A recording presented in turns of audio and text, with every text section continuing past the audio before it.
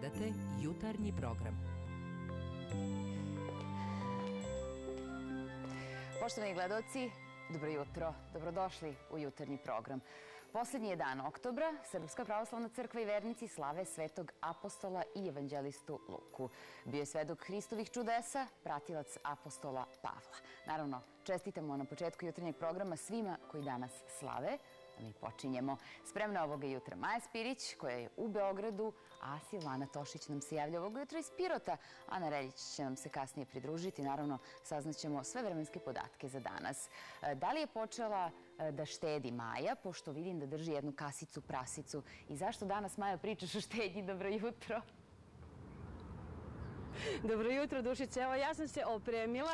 Evo je i moja kasica, pracica kao dokaz, zvecka unutra. Znači, počela sam da štedim. A o današnjem danu, e, ono što je važno e, i što treba reći jeste svakako da je danas svetski dan štednje. A ustanovljen je e, e nekako kao e, znak i kao obeležje na dan 31. oktobar 1924. godine, kada je održan prvi međunarodni kongres štedionica. Tada su zapravo ekonomisti i bankari povedeni mišlju da nekako edukuju stanovništvo, ustanovili ovaj dan smatrajući da im treba skrenuti pažnju na to koliko je zapravo štednja za neke dugoročne ciljeve važna, kako za pojedinca, tako i za razvoj cele ekonomije. Evo ja sam počela sa kasicom, prasicom, ali oni naši stariji gledalci svakako pamte i ove crvene štedne knjižice. E, na, na njima se ostavljao novac nekada lakše, danas čini se malo teže i štednja izgleda malo drugačije, ali statistika kaže da se ipak štedi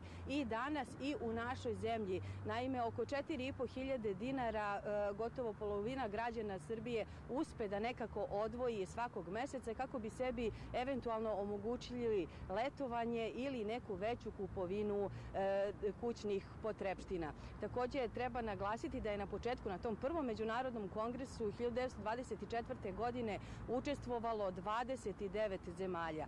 Danas, 196 godina kasnije, e, imamo i Svetski institut štedionica koji okuplja 940 banaka i štedionica, što najbolje govori o tome da e, smo postali svesni dugoročnog planiranja odvajanja novca i njegove kasnije upotrebe za nešto što možda ne možemo odjednom da, e, da e, kupimo ili eventualno za školovanje, za neka putovanja i sve ostale važne stvari koje nam možda nisu u prvom mahu prioritet, ali svakako kada tada dođu na red. Dakle, ja nastavljam da zveckam, nastavljam da štedim, a mnoge građane u Srbiji ovih dana očekuju brojne dobre ponude jer i Narodna banka Srbije i sve banke ovih dana nude povoljne kamate i e, mnoge radionice o tome kako e, treba raspolagati kućnim budžetom da bi na kraju meseca uspeli ponešto i da uštedimo. Evo Dušica je toliko za ovo prvo javljanje uz kasicu prasicu. Dušice, Hvala, Majo. E, svetski dan štednje, štedite, eto. Ali kad već pričamo mi o štednji, e, idemo tamo gde se po predanju najviše štedi. Gde drugde nego u Pirot. E, Silvana, dobro jutro. Jeste si ti u vatrogasnoj stanici, ali e, hajde na početku nam reci, da li su piroćanci najštedljiviji ili su to ipak samo predrasude? E, dobro jutro, Dušice. Taman sam htjela da se uvredim. E, nisi postavila pitanje na pravu adresu. Koleginicu iz Beograda si pitala kako se štedi. Naravno da nas treba da pitaš kako se štedi, ali opet bih rekla da je to možda više neki mit. Mi jesmo praktični, pragmatični, možda malo štedljivi, ali škrtice sigurno nismo, da znaš. E, Silana. A što se tiče ovaj, nekih sad Što se tiče nekih drugih stvari ovaj, koje si pomenula, ja se nalazim uh, u uh, odeljenju za vanredne situacije u Pirotu. Nažalost, pričamo o nekim malo neprijatnijim stvarima.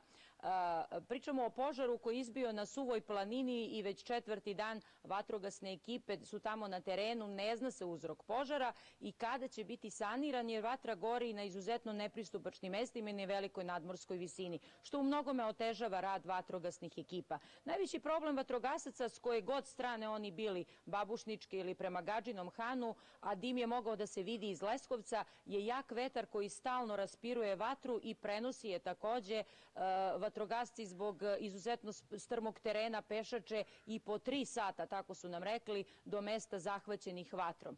prema nezvaničnim procenama požar je zahvatio mnogo više od nekih 80 hektara, toliko je bilo juče, ne znamo tačno koliko je, da li se sada proširila, ali najvažnije je da stano, stanovništvo i kuće u okolnim selima nisu ugroženi. Samo da naglasim, pričamo o situaciji u Babušničkom kraju. Mi se nadamo da vatrogasci neće imati još dugo posla. Dušice? Hvala Silvana za ovo prvo ključenje. Naravno, hvala i Maji.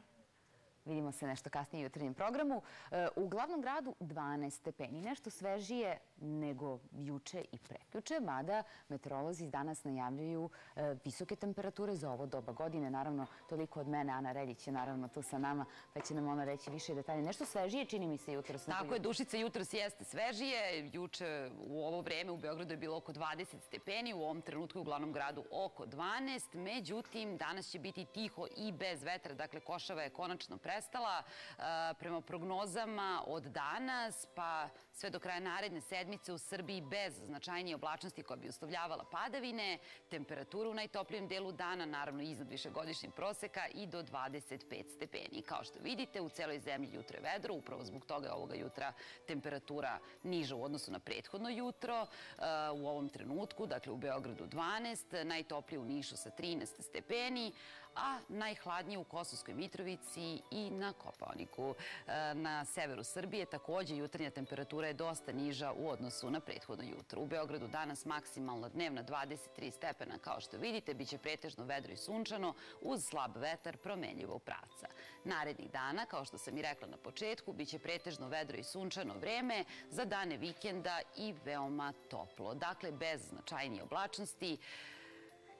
Iako kako da za danas dušice kažu, Sveti Luka, sneg, do kuka. Da, da, da, to smo juče pričali, a snega nigde. Na... A snega ni na planinama. Ali zato snega ima u Maroku, na primer što je veoma čudno, tako da nešto se, nešto se čudno dešava sa vremenom, vremenskom prognozom. Hvala, Ana, bitno je da nama e, narednih dana prilično toplo za novembar, početak Upravo tako.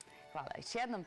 E, toliko na samom početku, a evo šta ćete moći da vidite između ostalog do kraja emisije sve do 11 sati. Dakle, šta nude penzionerske komune i kako starost utiče krunom života? Zašto se kaže da treba jesti sirovo kada su ipak najukusnije jela, kako kažu ona koje se satima krčkaju? A kako izgleda život filmskog kaskadera i zašto je teže to biti u Srbiji nego, na primjer, u Hollywoodu. Sve će nam oni ispričati ovoga jutra. Zašto je naš model osiguranja depozita među najboljima, iako postoji u još 102 zemlje? A kako do novih radnih mesta? Odgovor u godišnjem izveštaju Američke privredne komore u Srbiji koji ćemo predstaviti oko 7 sati. A družit ćemo se i sa glumicom Brankom Šelić. Ona će nam otkriti zašto voli TV serije. Gošće jutarnjeg programa takođe biće kadetkinje futbolske reprezentacije Srbije.